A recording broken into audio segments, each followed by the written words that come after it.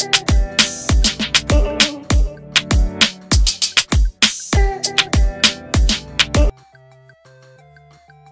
็กซ์ตรีมไทย โชว์ลีลาเยี่ยม คว้าทองสเก็ตอินไลน์ฟรีสไตล์แดนโสม เอ็กซ์ตรีมไทย ประเดิมสนามศึกนำวอนโคเรียอินไลน์ฟรีสไตล์โอเพน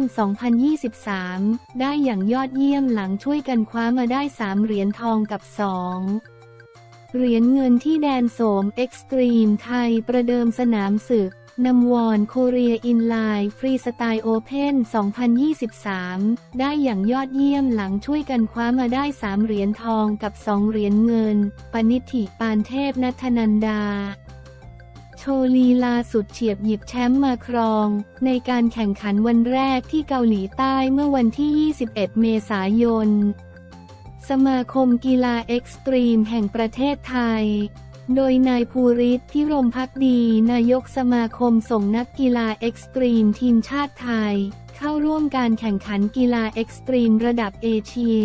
รายการนำวอนโคเรียอินไลน์ฟรีสไตล์โอเพน2023ที่เมืองนำวอน ประเทศเกาหลีใต้ชิงชัยระหว่างวันที่ 21-23 เมษายน เทนฮากรับสภาพแมนยูไนเต็ดไม่ดีพอเข้ารอบตัดเชือกยูโรป้ายังหนุนเดเคอาโดยนักกีฬาทั้ง 6 คนได้แก่ปณิธิพวงสายใจ คลาสสิกสลาลม สปีดสลาลม สลาลมคู่ แบทเทิลสลาลม ปานเทพรุจิเรก คลาสสิกสลาลม สปีดสลาลม สลาลมคู่ แบทเทิลสลาลม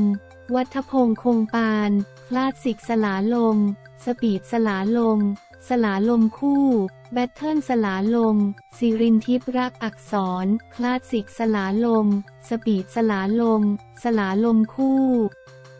แบทเทิลสลาลม นัทนันดาปสุตตนาวิน คลาสสิกสลาลม สปีดสลาลม สลาลมคู่ แบทเทิลสลาลม นิชการจินุพันธ์ สปีดสลาลม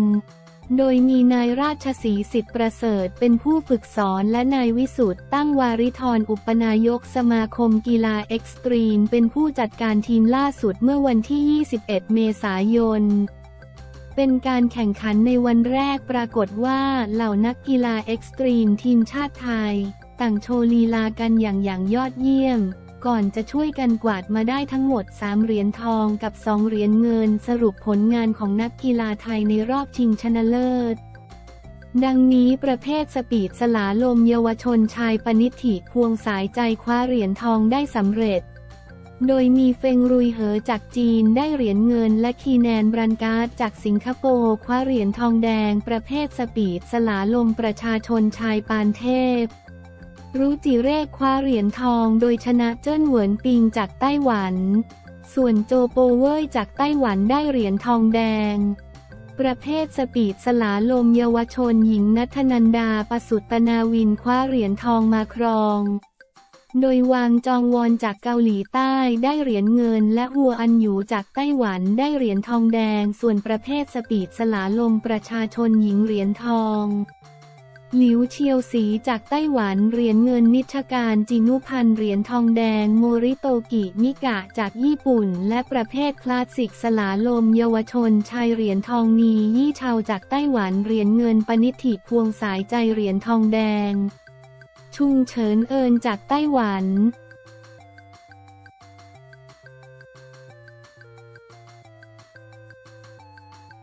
ไข่แดงเปิดตัวสุดปัง ONE ลุมพินีแรมโบ้เล็กคว้าตั๋วชก ONE ระดับโลกไข่แดง เปิดตัวสุดปังศึก ONE ลุมพินีแรมโบ้เล็ก รัวหมัดอัดหนุ่มจีนชนะน็อกยกสองพร้อมตั๋วลุยศึกใหญ่ ONE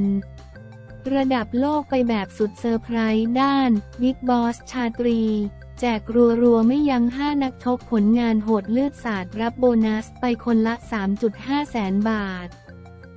ศึก ONE ลุมพินี 13 ที่สนามมวยเวทีลุมพินี รามอินทรา เมื่อคืนวันศุกร์ที่ผ่านมาชกกันทั้งหมด 12 คู่ต่างโชว์ผลงานกระแทกใจคนดูพร้อมมี big surprise ประกาศตัวนักชก ONE ลุมพินีรายแรก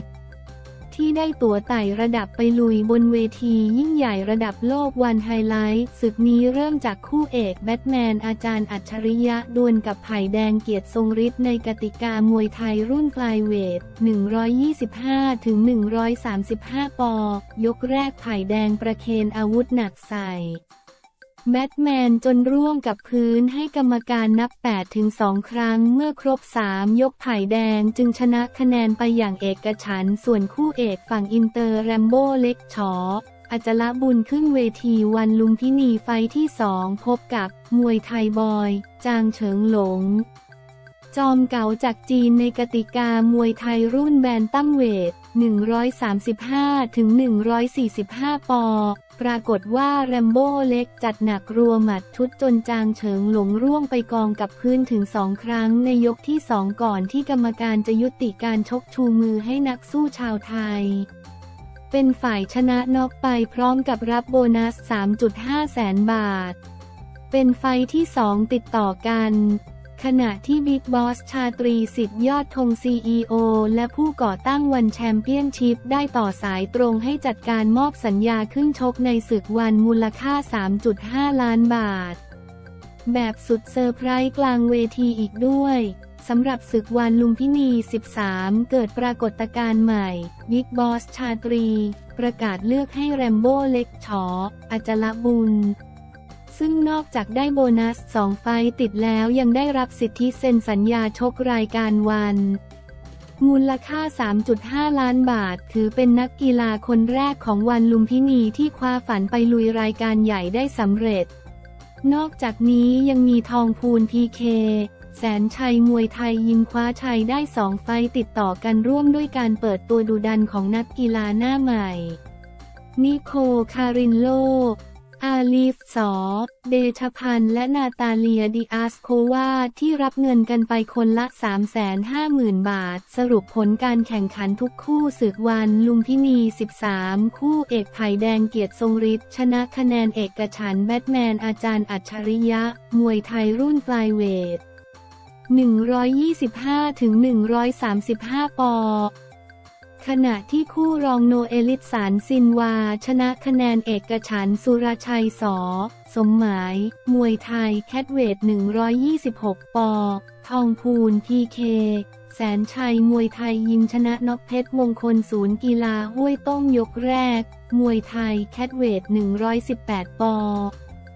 เพชรแสนคมใหญ่เชยซีฟู้ดชนะคะแนนเอกฉันท์ทวนทองสอ สมหมาย มวยไทย catchweight 132 ปอ นาตาเลียดิอาสโควาชนะน็อกดอกไม้ป่าแฟร์เท็กซ์ยกแรก มวยไทยรุ่น strawweight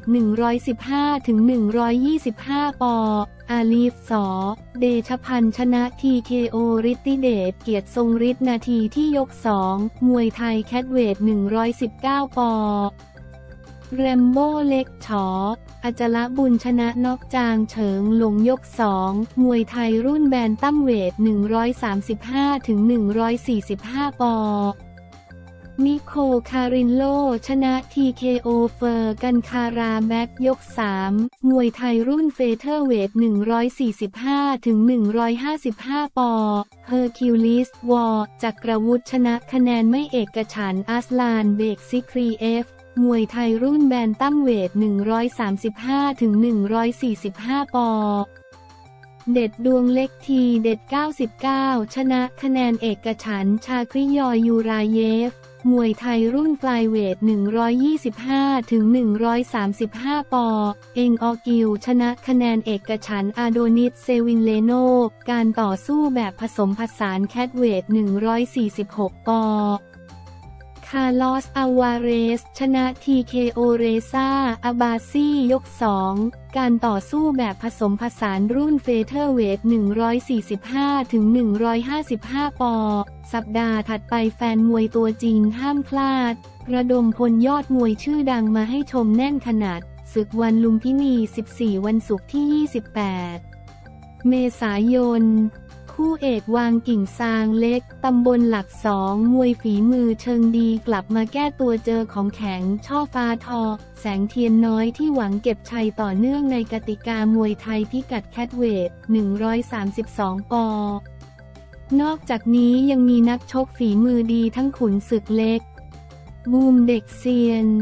เสกสรรอาจารย์ขวัญเมือง ยอดคมประตักซินมี มวยไทย และฉลามพรันชัย พร้อมขึ้นวาดลวดลายแม่ไม้มวยไทย โดยแฟนกีฬาชาวไทย สามารถจองบัตรเข้าชมในสนามผ่านทางไทยติกเก็ตเมเจอร์คู่แรกเริ่มเวลา 19นาฬิกา30 นาทีและถ่ายทอดสดทางช่อง 7 HD ตั้งแต่เวลา 20.30 น